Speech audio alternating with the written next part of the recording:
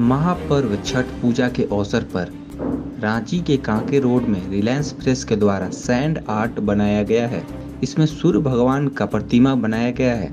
यह उड़ीसा के एक कलाकार धीरेन्द्र पांडा ने बनाया है। उन्होंने कहा कि हम हर एक वर्ष प्रतिमा बनाने के लिए कहीं न कहीं जाते हैं। पिछली बार पटना गए थे और इस बार रांची में आए हैं। उन्होंने आगे कहा, हम हर एक प्रकार के प्रतिमा बनाते हैं और बिहार, झारखंड में छठ महापर्व धूमधाम से मनाया जाता है। इस वजह से इस बार रांची में हमें बुलाया गया है और कैसे बनाते हैं, कैसे इसकी देख रेख की जाती है, इन्होंने खुद बताया। सुनिए। नमस्ते। पहले मैं धीरेन्द्र पंडा, ओडिशा सैंड आर्टिस्ट पहले छठ के लिए मैंने सभी को हार्दिक शुभकामनाएँ। और ये सैंड है। पहले उसको पानी डाल के टाइट करना पड़ता है। फिर बाद में ड्राइंग के मुताबिक उसको कार्विंग करना पड़ता है वो फिनिशिंग। कहाँ से आपने सीखे उड़ीसा। उड़ीसा से आप सीखे जी जी। तो इसमें मतलब एक बार बनाने के बाद इसको देख रेख भी किया जाता है कैसे क्या किया जाता है बताइएगा थोड़ा। छठ इधर तो छठ फ़ेमस है। सूर्य भगवान का पूजा होता है तो कार्तिक महीने में। अगले बार मैंने पाट, पटना में किया था। और सूर्य भगवान का दिमाग से ले लेते हैं ड्राइंग पहले तो ये काम करने के लिए ड्राइंग दिमाग में होना चाहिए। और क्या क्या आयुध है और क्या क्या सब सूर्य भगवान जो रथ सात घोड़े हैं और सारथी है।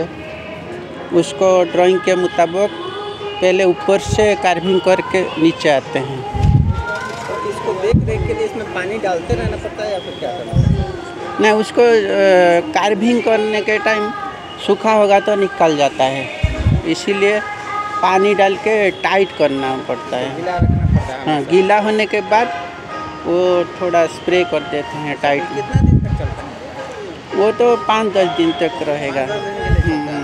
तो इससे पहले भी आप यहाँ बनाए हैं कहीं? मैंने पटना में बनाया था। अगले वो और क्या क्या बना लेते हैं? सब जैसे भी आप हमको बालू स्टोन कार्विंग करते हैं हम। अच्छा स्टोन मूर्ति हम राष्ट्रपति गणपति के लिए बाल गणपति के लिए नेशनल अवार्ड मिला था उड़ीसा में। उड़ीसा में बनाए थे जी। अच्छा, क्या बहुत मंदिर मंदिर में हम मूर्ति बनाते हैं कभी कभी ये प्रोग्राम आता है सैंड आर्ट के लिए कोई फेस्टिवल होता है ना वो बुलाते हैं दस पंद्रह दिन पहले।